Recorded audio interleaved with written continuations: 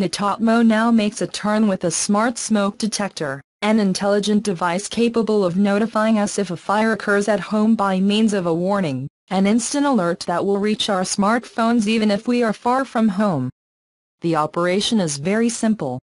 The detector activates the alarm while sending a real-time alert to the phone that we have configured.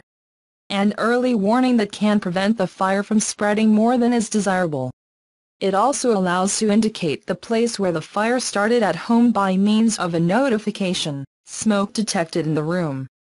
To check the proper functioning the detector offers a checking system that allows to verify that the smoke sensor, the battery and the Wi-Fi connection work correctly. In this sense the battery that integrates offers a range of 10 years, warning the user by means of the app in case of problems of operation or load in it. Another advantage of the smart smoke detector is that it is compatible with two of the most popular standards, such as IFTTT and Apple HomeKit. In this way you can, on the one hand, work routine programs to interact with other connected devices and also thanks to HomeKit we can control it by means of verbal commands thanks to Siri. In addition, the smart smoke detector allows the use of different devices so that we can install as many devices as we want to cover different stays in the home.